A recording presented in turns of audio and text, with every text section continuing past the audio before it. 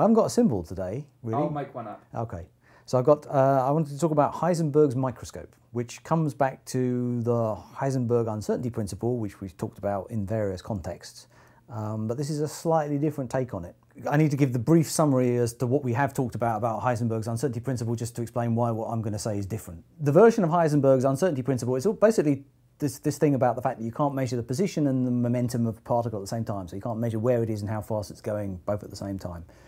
And this is, you know, this is a very well documented phenomenon in quantum mechanics. We know that it's true. It's sort of unavoidable because it actually follows from a mathemat- it follows from the mathematics. It follows from a mathematical technique called Fourier analysis. We know that momentum is associated with the wavelength of a wave. Okay, and so when you've got a particle with a particular momentum, that means it's a wave which has, you know, a very particular wavelength to it. And the only way you can have a wave with a very specific wavelength is if it goes on and on forever. So that's a particle which has incredibly well-defined momentum because it's got a wave that goes on forever. So we know exactly what its wavelength is, but we don't have a clue where it is because the wave just goes on and on forever. So the way you can make something more localized is what you actually want is something like this. It's still a wave, but it's kind of more localized, right? It's a little bit of a wave, but it's all within some little distance delta x. But what this technique of Fourier analysis tells you is that actually to make a wave that looks like that, you have to add a whole bunch of sine waves together. Right? The way you make something that looks like this is by adding waves of slightly different wavelengths. And in the middle here, they all interfere with each other in a constructive way, so they all add up together. But when you get out here, everything's interfering with everything else and you end up with nothing left over. So the way you make one of these little wave packets where you've got the wave kind of restricted in space is by adding a range of waves together. But of course each of these waves has a slightly different wavelength, which means they have a slightly different momentum associated with it. So now, although we've made the particle nicely localized in space, it no longer has a well-defined momentum. It can only, you know, we know it has a momentum that's somewhere in the, associated with the range of this wavelength. The thing about this is it doesn't actually, although it looks like, you know, there's kind of a wavelength associated with this, it's because it's not a nice, neat sine wave anymore, it doesn't actually have a single well-defined wavelength. And in fact, the only way you can define the wavelength in this is in terms of the wavelength of all its constituent parts. So that's why it doesn't have a well-defined wavelength, so it doesn't have a well-defined momentum. And the more we squash this thing up to make the position well-defined, the wider the range of wavelengths we have to need to add together to make that squash thing, so the more uncertain the momentum becomes. So that is the Heisenberg uncertainty relationship that says that the better you measure the position of something, the less well you know its momentum, or the better you define the position of something, the less well you know its momentum. That's where we were. The classic question that gets asked in the comment sections of YouTube videos, amongst other places, is well, why don't we just do the job really carefully, right? If we just got a particle, why don't we just measure its position and momentum really carefully?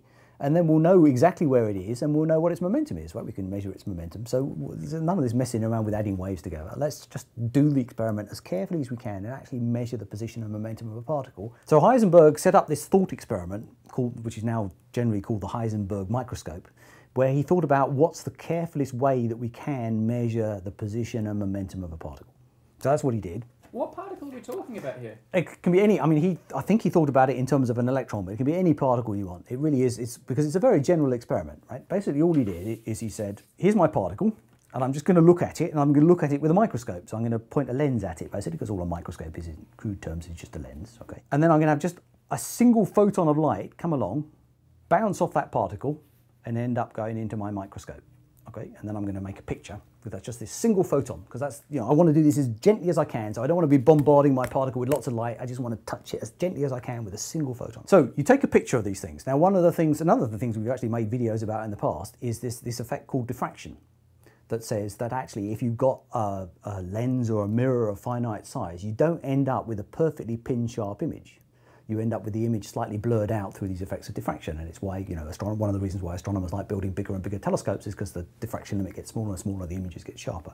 Which means that if we were to look at our particle with lots of light, we wouldn't see it as a single point, right? We'd actually see it blurred out a bit just from these effects of diffraction.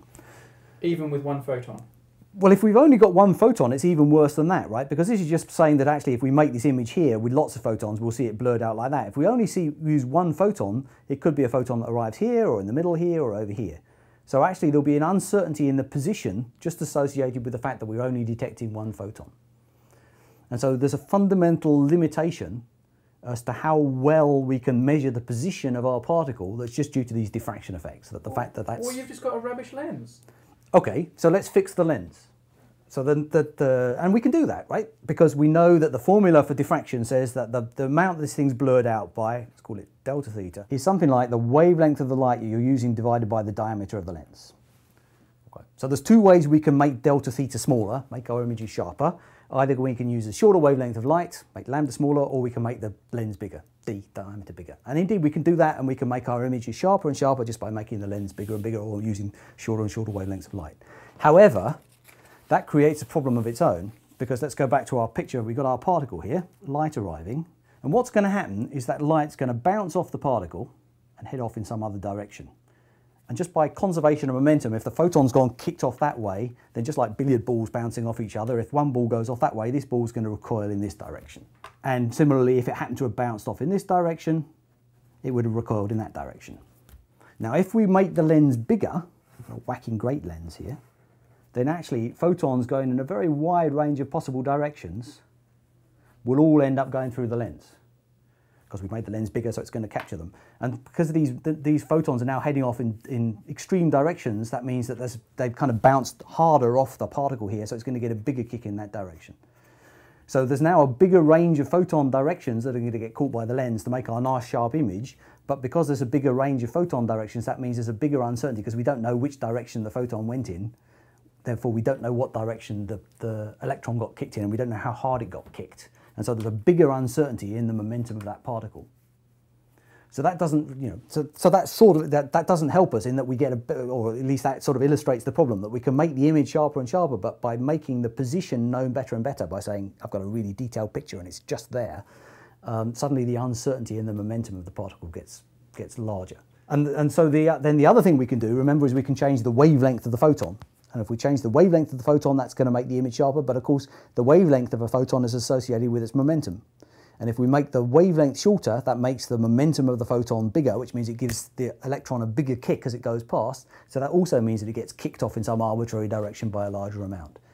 And there is no way around this trade-off between the two, right? If you optimize your microscope more and more for making the images sharper and sharper, you'll give the, the particle that's being imaged a bigger and bigger kick in some random direction and really not know where it's going. And that's, so that's the essence of this. It's a very elegant sort of, it's a thought experiment that Heisenberg did of saying, you know, am I just being stupid here? Is there some clever way I could actually measure both the position and momentum of the particle at the same time? And it turns out you can't. Well, why not come up with a solution that doesn't involve smashing it with a photon and use it, or using a lens? Come up with a new way that's the, that's my problem. I, I just think you, I think you're using a blunt instrument. You know, a microscope is. But how much how much you know how much subtler can you get? I'm just using a single photon of light. I'm, it's the minimum disturbance I can possibly do to this electron. It's just it's just illuminating it with a single photon. Anything else I can do is going to be worse than that. Right? I've got to illuminate it with something because I've got to see it to no, know where it is. No. So how am I going to know where it is if I don't see it? You know your son's at school at the moment, even though you can't see him, for example. Like there are there are other pieces of evidence you can use to know information. Why do you have to why do you have to see it to believe it? Can't we come up with a new way to figure out what our particles are doing? You've got to measure it, right? You've really got to measure it. You can't just go on faith that, you know, the particle's there. You've actually got to measure it. To measure it, you have to interact with it in some way just, just to ask it, if, are you there? You know, and so actually, this is the subtlest way you can think of of interacting with a particle to find out whether no, it's there. No, it's the subtlest way Heisenberg could think of. Okay, so it turns out, so it turns out you touch on an interesting point here because this was so Heisenberg came up with this thing in 1927. Right? People are still arguing about whether it's right or not.